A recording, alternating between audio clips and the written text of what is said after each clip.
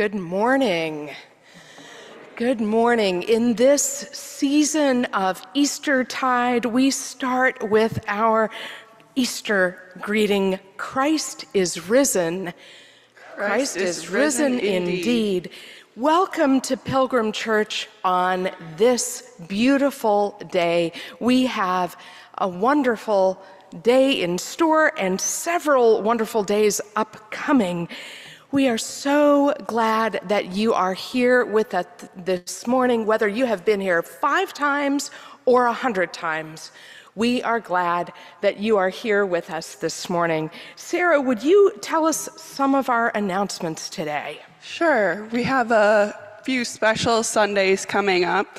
Um, May 12th is Children's Sunday, so the children are going to lead worship from the beginning to the end, pretty much.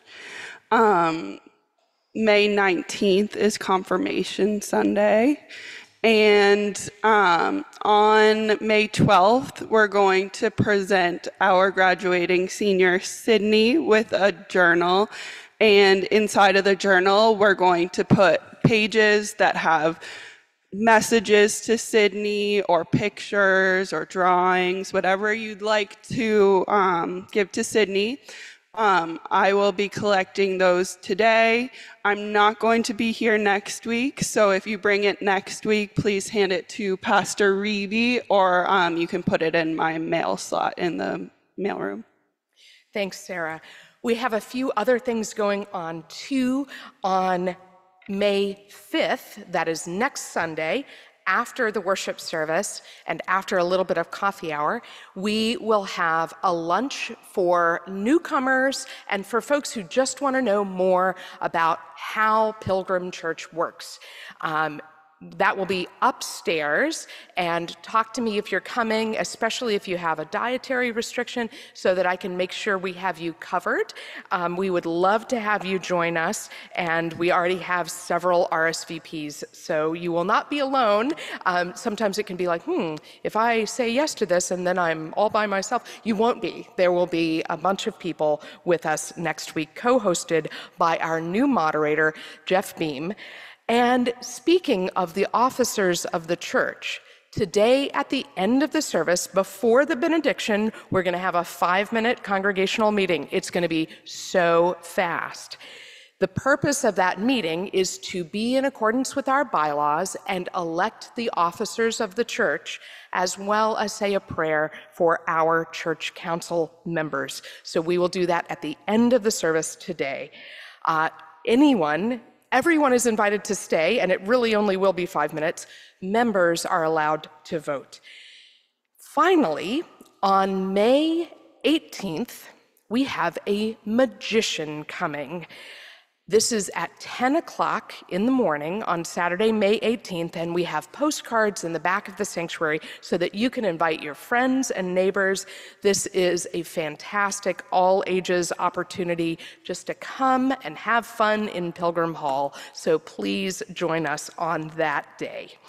I think that might be all of the announcements. Do you think, mm-hmm. Sarah? I think so. Okay. Would you lead us in the next part? Um, please join me in the passing of the peace. Peace be with you. And also with you. Let us share the peace of Christ with one another.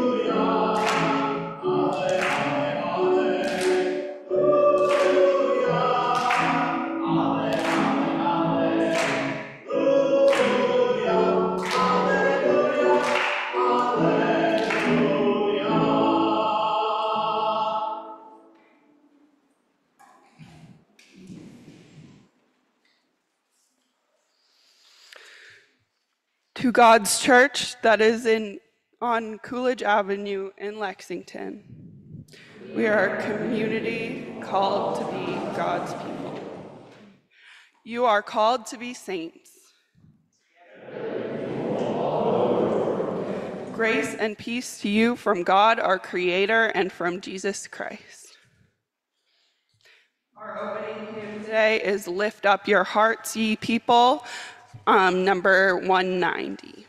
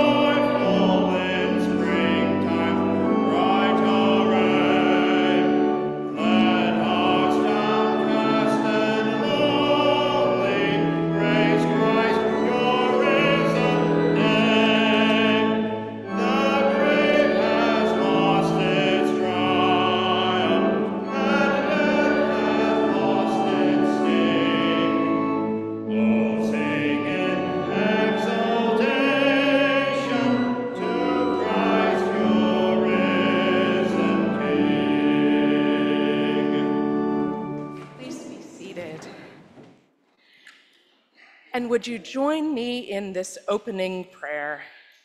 Jesus, in your name, the early church spread throughout the known world, and yet our ancestors in faith faced challenges and disagreements.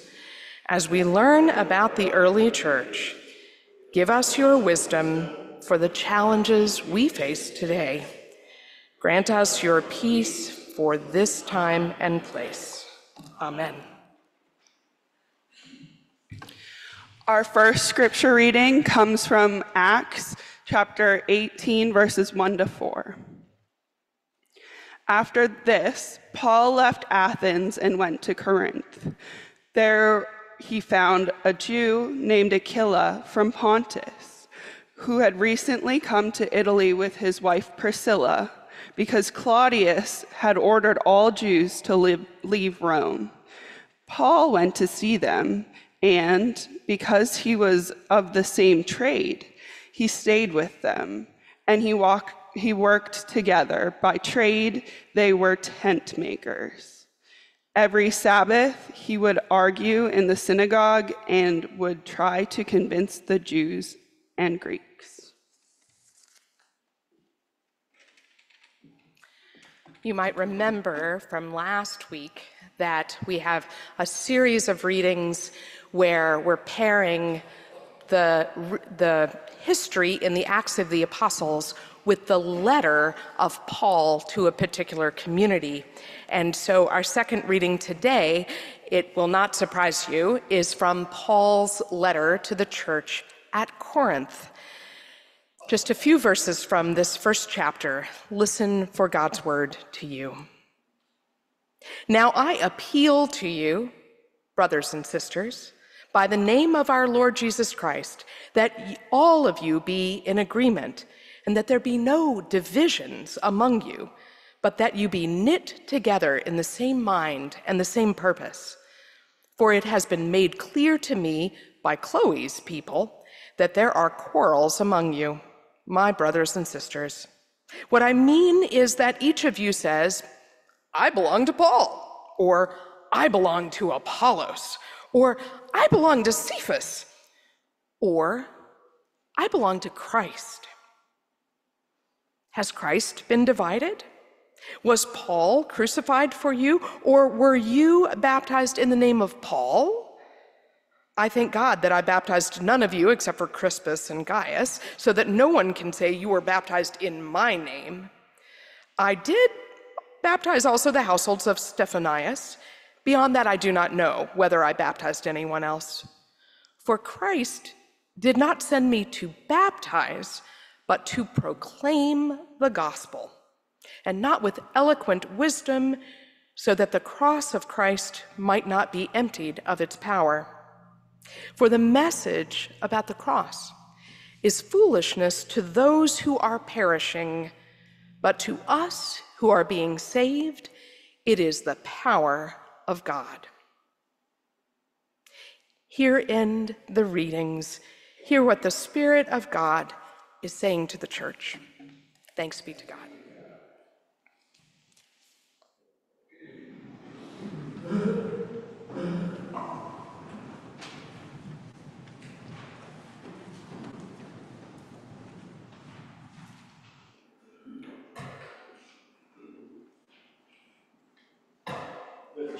Program,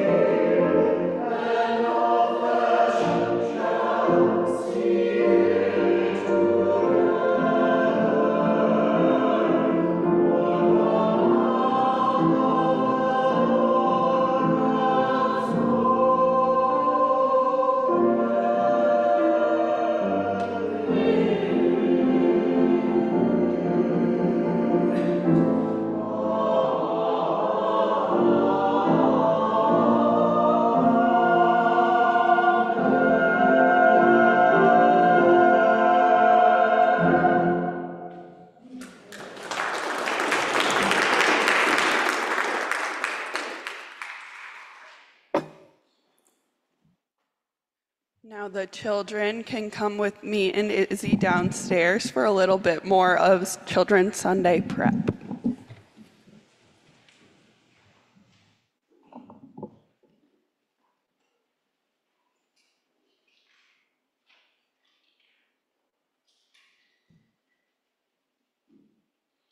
Friends, would you pray with me?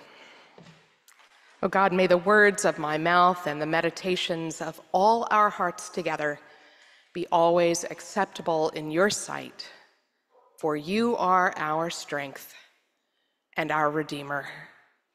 Amen. Chloe sent Paul a letter with concerns about her house church community, and Paul wrote back. Every time we open the Bible to 1 Corinthians, we are opening someone else's mail. While we might not open the downstairs neighbor's credit card bill, when it comes to ancient history, reading other people's letters is valid. Ancient letters are considered primary source documents. But when we read these biblical letters, we've got to keep some important points in mind. Most importantly, we only have one side of the conversation. For whatever reason, Chloe's letters to Paul didn't survive. And not only that, but we don't even have all of the letters that Paul sent to Corinth. In the middle of this letter, he references his last letter, which we don't have. And on top of that, Paul probably did not think he was writing scripture or theology. He was just writing to Chloe and her people about specific events and conflicts that had come up in Corinth since Paul converted the first people to Jesus' way in the fifth decade of the first century. It's like, you know, your kid texts you and says, should I wear the blue shirt or the purple shirt? And you write back and say the purple shirt. And then 2,000 years later, people are saying you should only ever wear a purple shirt.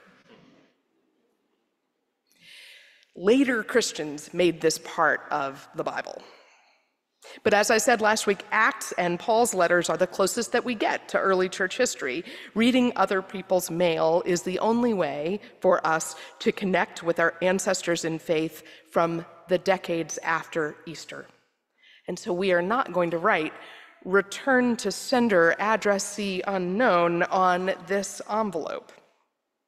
This morning, because we do have a congregational meeting ahead of us, I want to keep it brief and suggest that we might learn from this very first wisdom that Paul offers in this particular letter a little bit about how we deal with things in the church today, because there is some relevance. Maybe there is even wisdom for how to deal with divisions in the church.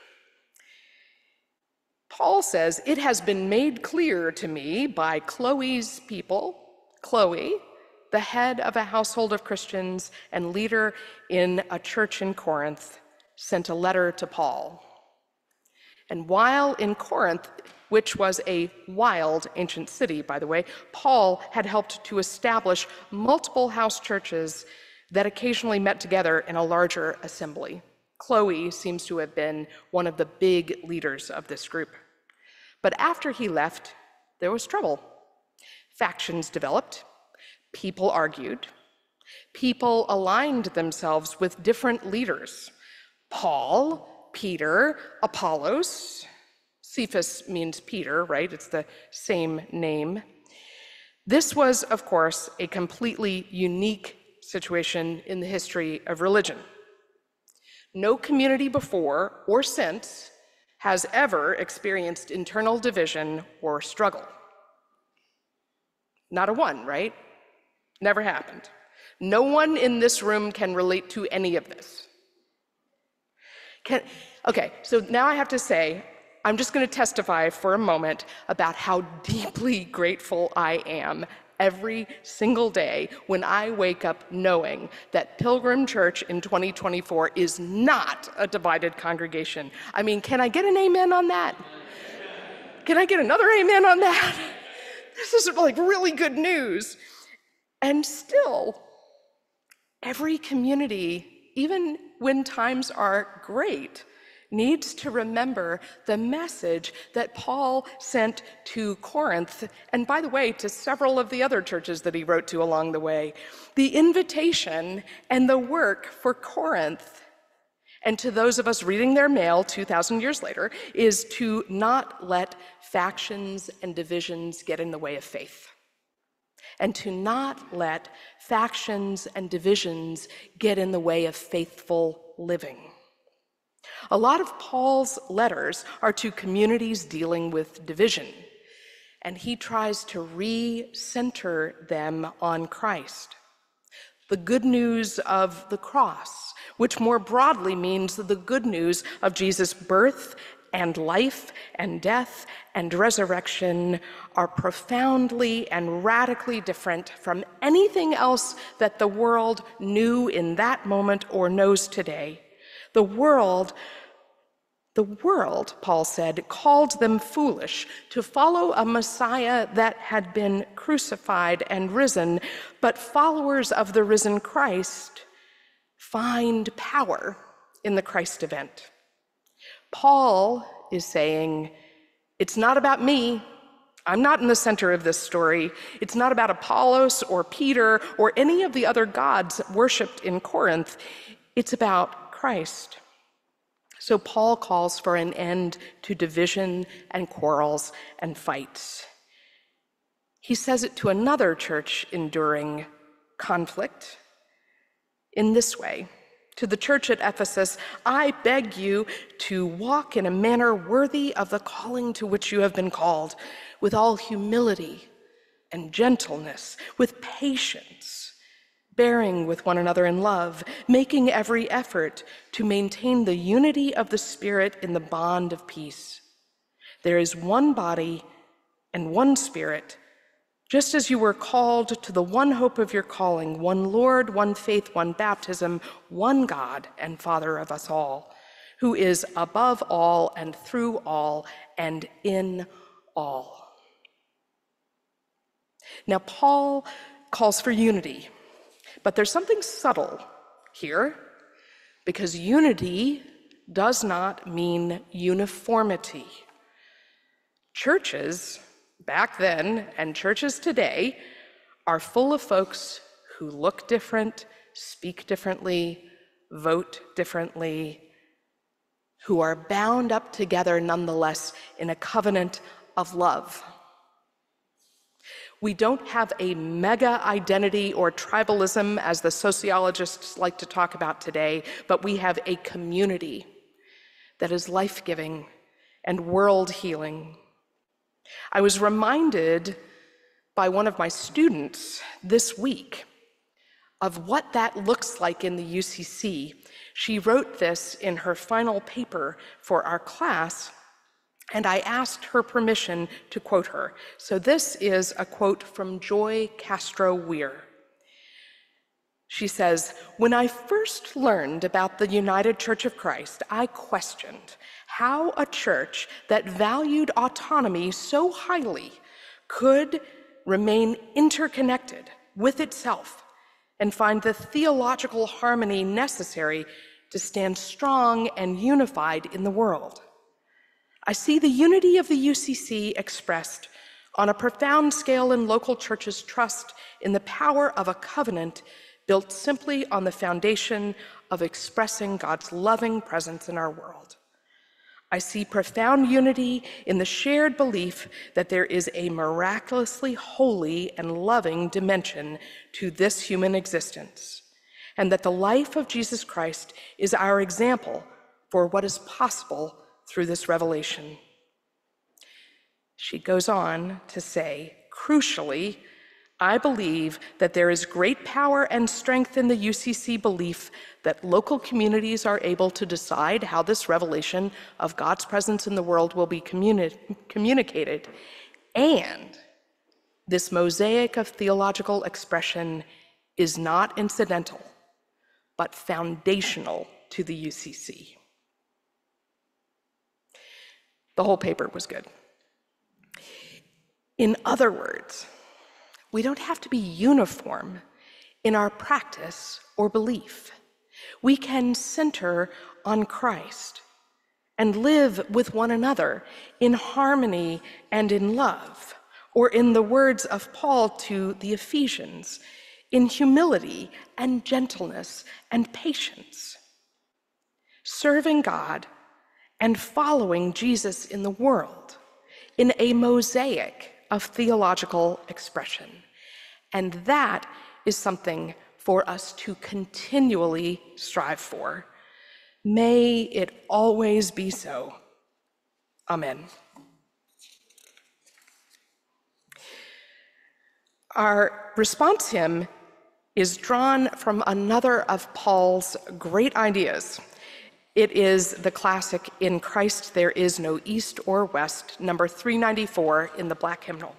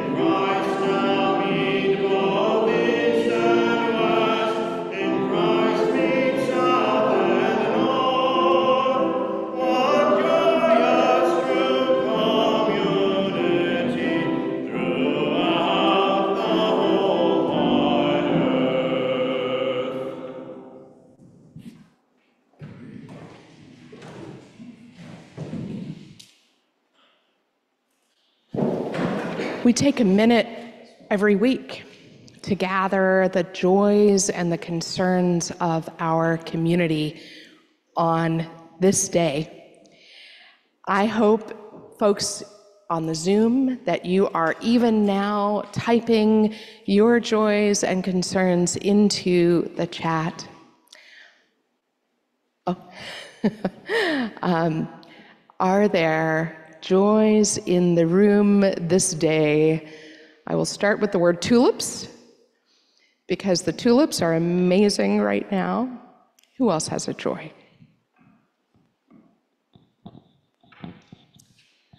Um, yesterday, my daughter Emily and son in law Gordon hosted a fundraiser for SYNGAP 1, which is what Hadley um, is facing. And it was a wonderful day. The whole family was there, and Hadley was just glowing and really enjoying the support and love of her family. So that was a wonderful joy. That's great.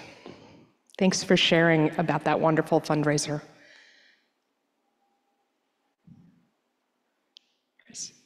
I'd like to say that I'm joyful for the thoughtfulness of pairing the hymns that follow the sermons. You know, this was a perfect blending. In Christ there is no east or west after that wonderful sermon. And that happens all the time. Well, thank you, Chris. Um, we try. Dot and I work on trying to figure out our seasons and uh, and scripture readings. I will also say we take take uh, suggestions. So there, there's one that, you know, sometimes there's one that I just don't see, and then someone suggests it, and it's good. Thank you, Mary. I had a wonderful time yesterday afternoon cooking with Acadia for her confirmation, end of the confirmation project. It was a very special day. That's so great.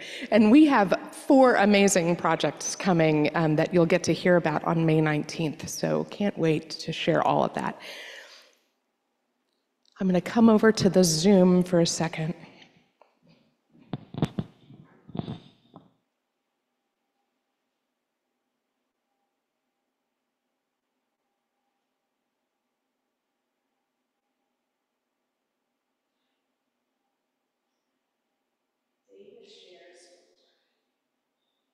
David shares a joy that his two sisters visited from Kentucky this weekend. Good news there.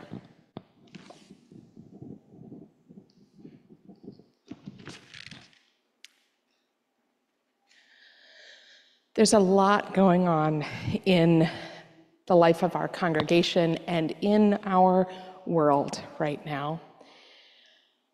I know about some of those things, and I will say them um, and then come to you all.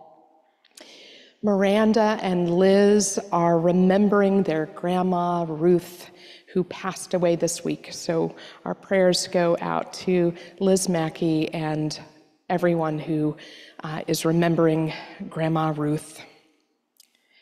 We remember Peter, um, at, uh, a friend of Derek and Sandy's who passed away this week.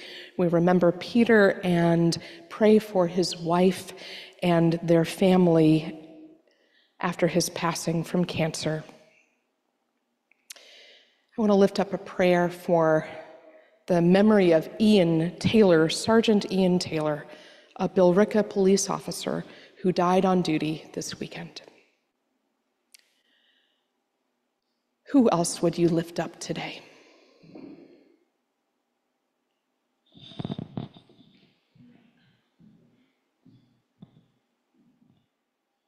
I remember the death of uh, a very important and famous painter in Taiwan. His name is Oh Hao Nian. He died on April the 25th. Would you say his name one more time? Oh, oh Hao Nian. Thank you for lifting up his memory this day.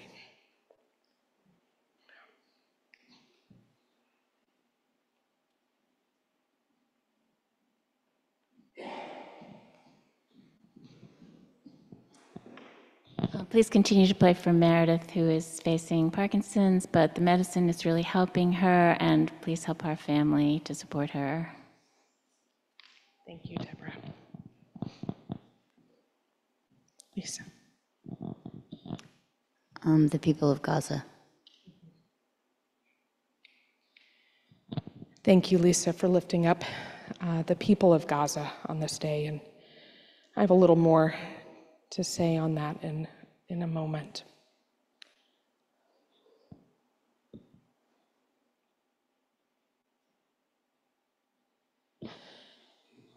Um,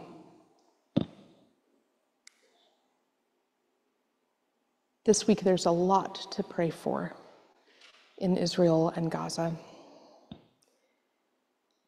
Prayers for people of Gaza facing famine and disruption, for families in Israel waiting for hostages to come home after six months.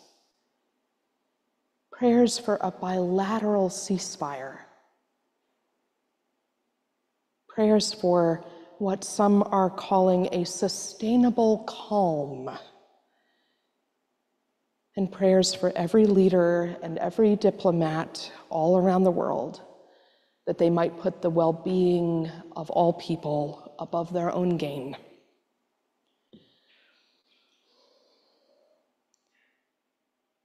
I want to lift up in prayer families who are sleeping on the floor of Logan Airport every night right now. This has been the case for months, and there have not been a lot of headlines around them, but there was a picture just yesterday of 20 or 30 families sleeping on the floor at Logan because there is no other shelter for them to go to. Folks on Zoom, I'm going to come over to you now.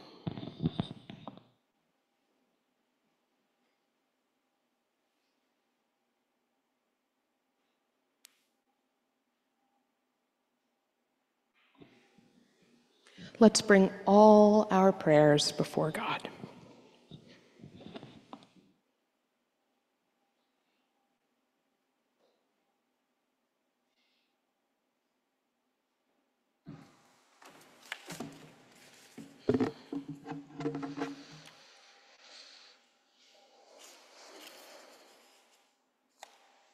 I'm going to share a prayer this day by Shari Prestemon, one of the officers of the United Church of Christ, a prayer for this moment of war and conflict and violence. O Holy One, war and conflict grips so many places in our world. Violence and injustice surround us, leaving wounds that run deep. Grant to us your peace, which surpasses all understanding, but do not grant it without our own investment in the peace we desire. Compel us to work with you, to join with you in the steady work of building peace. Call us to be present with those besieged by war and consumed by conflict. Cause us to model in our own lives the things which make for peace. And bestow upon us, we pray, your ancient blessing.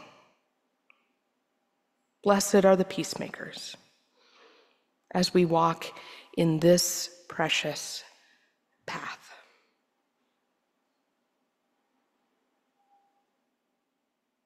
Holy and loving God, you who know every hair of every human being's head, you who love each one of us,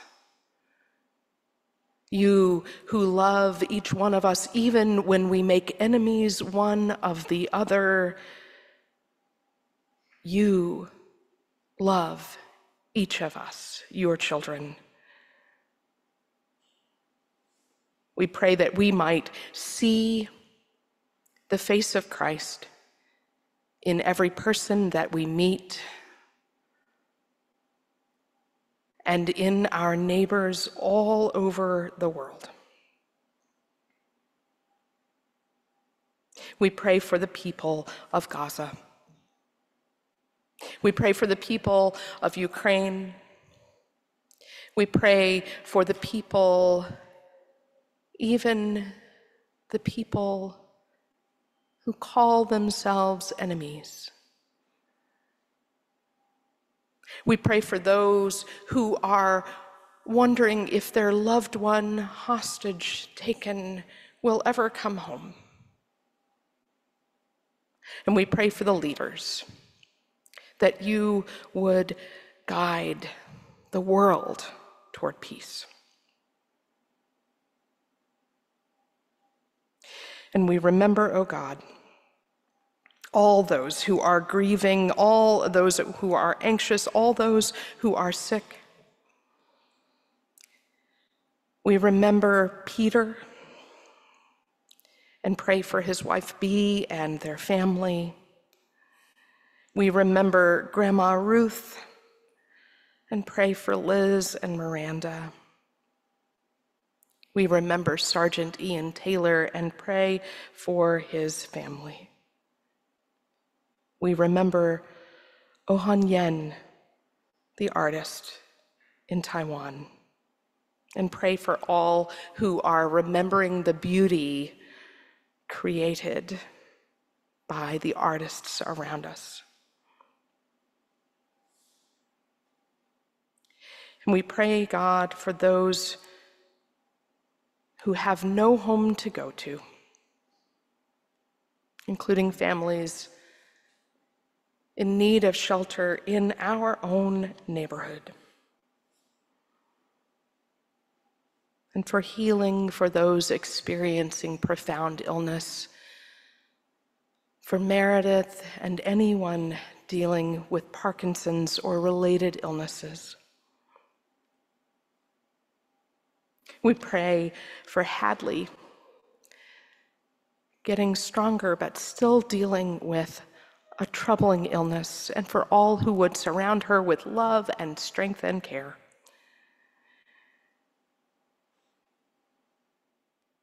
And God of love, we remember and give thanks for all of the blessings of our lives. From family visits and fundraisers and the joy of music sung together to cooking and learning and growing in faith. We give you thanks for it all. We give you thanks, O God, for we remember the words of Paul that in all circumstances we should give thanks. We give thanks and we remember Christ, who is our teacher and the center of our faith, and we remember and say aloud the words that he taught us Our Creator, who art in heaven, hallowed be thy name. Thy kingdom come, thy will be done, on earth as it is in heaven.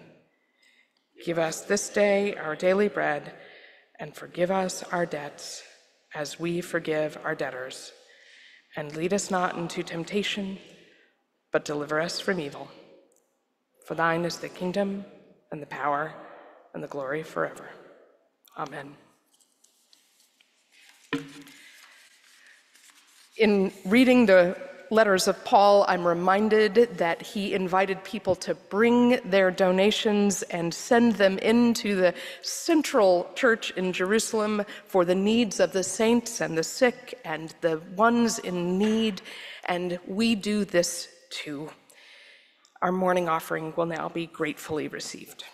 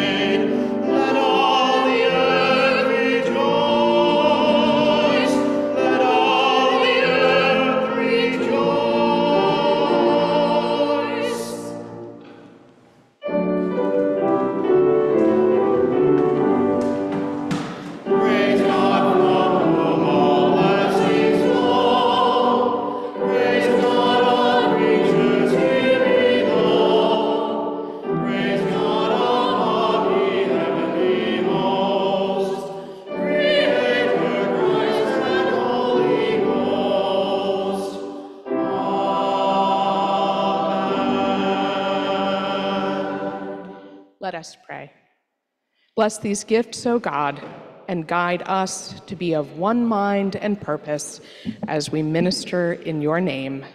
Amen. We're going to sing the first two verses of Peace I Leave with You, My Friends, and then don't go anywhere because we're going to have a congregational meeting.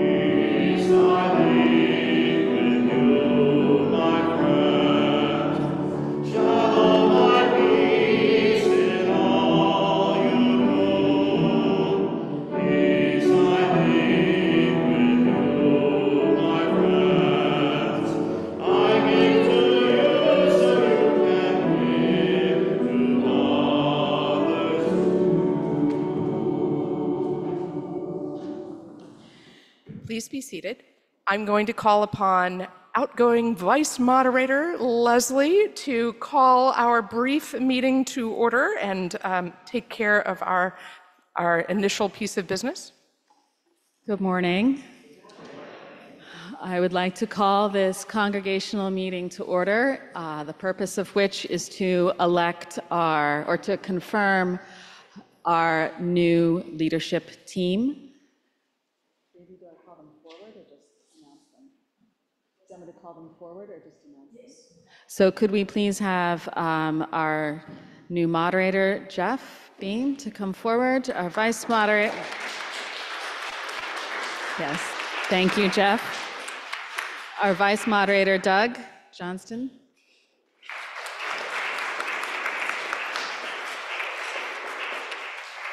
Our clerk, Don Moyer. And our treasurer, Dave McClave.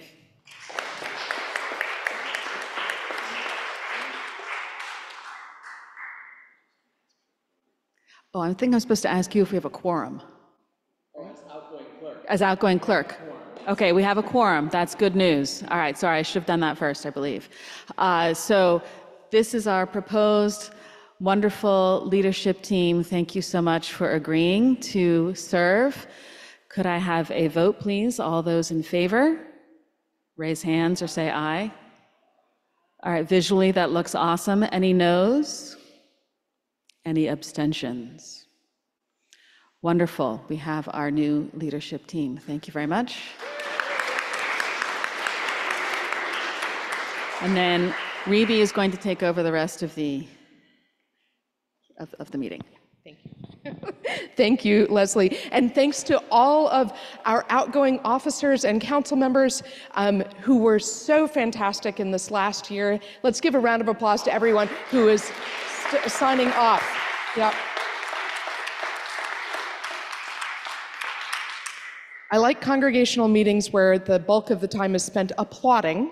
Um, but I would also like to now uh, invite all of the current members of council to come forward to join our officers up here. And that would be Isabella, Sadna, Susan, and Susan, uh, and Susan.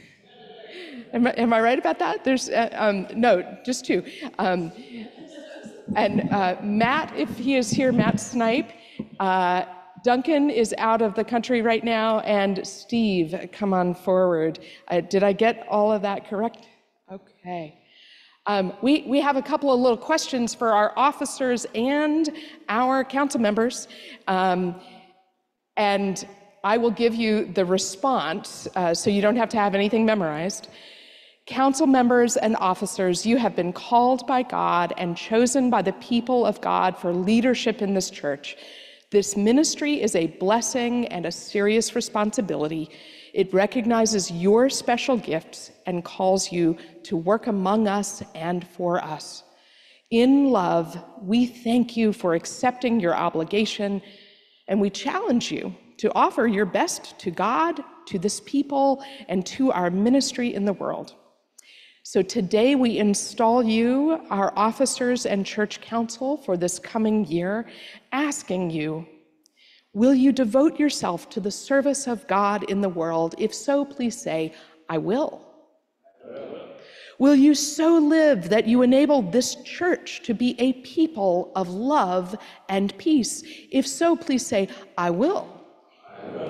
Will you do all in your power to be responsible to the task which you have been chosen to do? If so, please say, I will. Let us be in a spirit of prayer. Almighty God, pour out your blessings upon these your servants who have been given particular ministries in your church. Grant these leaders grace to give themselves wholeheartedly in your service. Keep before them the example of Jesus Christ, who did not think first of himself, but gave himself for us all. Let us share his ministry and consecration that we may enter into his joy. Guide these leaders in their work, reward their faithfulness with the knowledge that through them your purposes are accomplished. Through Jesus Christ we pray. Amen. Now, there's a question for the assembly, and whether you are a member of the congregation or not, you are invited to respond to this question. Dear friends, we rejoice that God provides laborers for the vineyards. Will you do all that you can to assist and encourage these leaders in the responsibility to which they have been called? Giving them your cooperation, your counsel, and your prayers? If so, please say, I will. Amen. Thank you, Church Council. Thank you, officers. Thank you, congregation. Lisa wants to take a very quick photo, so don't move. Um, but uh, so, yeah, okay, scooch, scooch in. And as Lisa is arranging folks, uh, I, I will get ready for a benediction. It's okay. It's easier now than later, so okay. All right, there we go.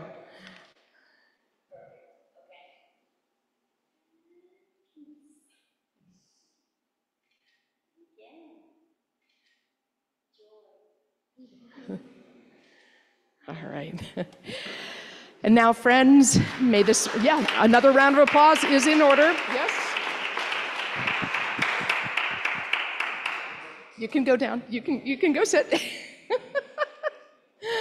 ah. And now, friends, may the spirit that was in Jesus be in us also, enabling us to know the truth, to do the will of God, and to abide always in God's peace. Amen.